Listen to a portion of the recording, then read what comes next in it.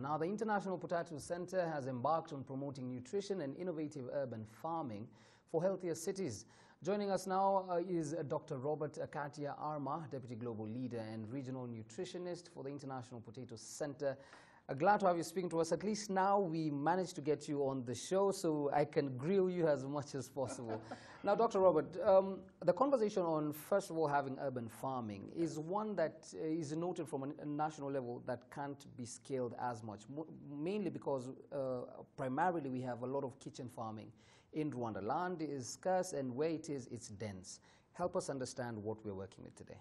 Um, so with uh, rapid urbanization in many countries going on uh, currently, uh, we realize that population in, in, urban areas are rapidly increasing. Right. And with increasing um, urban populations are uh, we have competing interests for land, right. um, also for other resources. Uh, so as much as we celebrate these, uh, there are many trade-offs with economic development, right. particularly when you have a lot of rural-urban migration. And so we know that by 2030 um, and 2050, urban populations will increase by 50 and 60 percent um, respectively. Right. Um, to go with that, the Sustainable Development Goal number two, which talks about um, ending um, hunger right. and making sure that uh, there is sufficient and nutritious foods for all, uh, it will uh, meet their targets in 2030. Right. And so as part of that, we have our responsibility to make sure that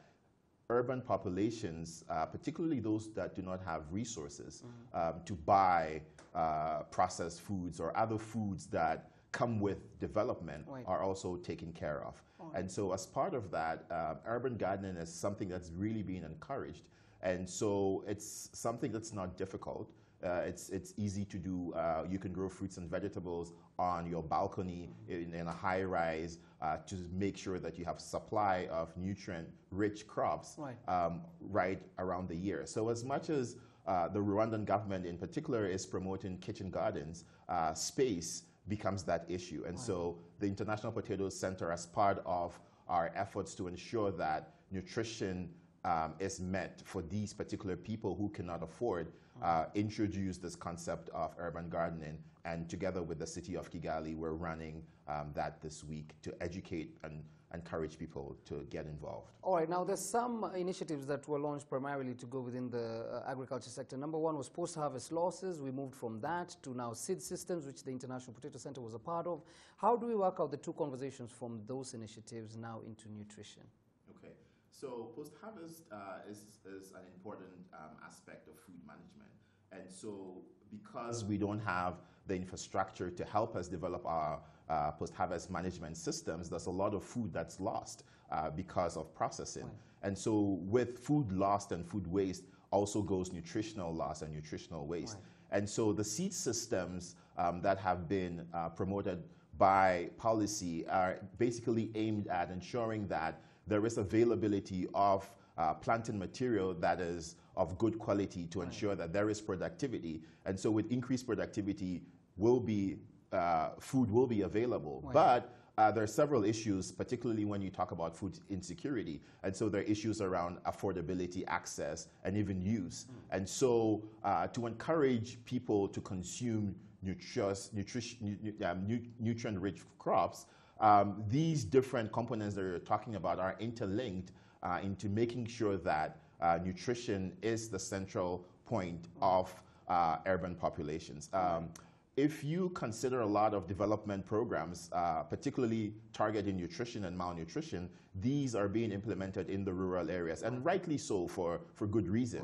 Uh, but as I said, with the shift in rural-urban migration, we need to be also uh, responsible for some of these uh, people who are moving in to urban areas. Now, if you look at the distribution of malnutrition rates um, globally, you realize that in urban areas or in cities that are fast developing, particularly in Africa, right. malnutrition rates in cities are actually going up. Right. And so nutrition then becomes important as much as we talk about some of uh, the other things that you mentioned related to seed systems and post-harvest management. All right, now if we mention uh, the International Potato Center introducing innovation uh, into the sector, we would imagine a cost element to it, uh, particularly if we're going to tie it to the national mandate. So who handles this cost element and who follows follows up on the processes, at least from the innovation perspective? So, uh, as a research center, uh, the International Potatoes Center is funded by many donors, including uh, USAID and uh, DFID.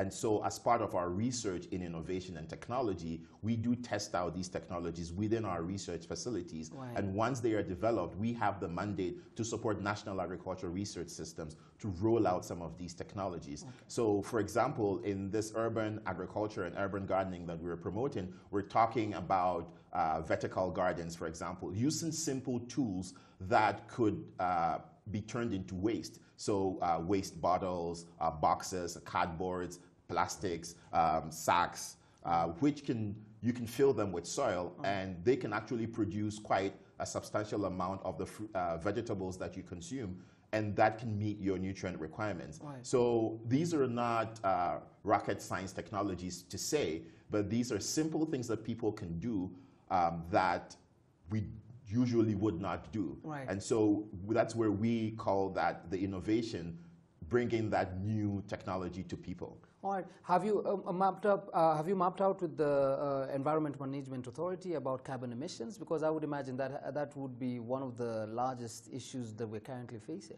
Yes, um, I, uh, particularly uh, we work a lot uh, with the Environmental uh, Commission, and uh, particularly uh, as a research institution, environmental issues related to carbon emissions are important to us. So uh, the carbon footprint that we leave with the kinds of innovations that we do Right. are really important to us. And so we do discuss that, and we look at how best to reduce that with improving uh, the technologies um, that we introduce to people. A, a quick one, just give me one minute of your time um, uh, before we wrap up. Uh, so, the number one approach that we would think ordinarily for the public would be us approaching every restaurant and telling them we need people to eat healthier. But that's not as feasible as we might make it seem. Yes, uh, that's not as feasible as you might make it seem, but there is the element of behavior change and communication Right, to it. And so the program that we're having currently is one way of reaching uh, the urban population. And so as people listen to radio spots, TV uh, spots, uh, and as well as as we create awareness about the importance of um, consuming healthy diets, we hope that uh, people will change their attitudes towards that. Because currently, uh, with increasing uh, population, we also have the dichotomy of obesity and undernutrition Right. coexisting at the same time.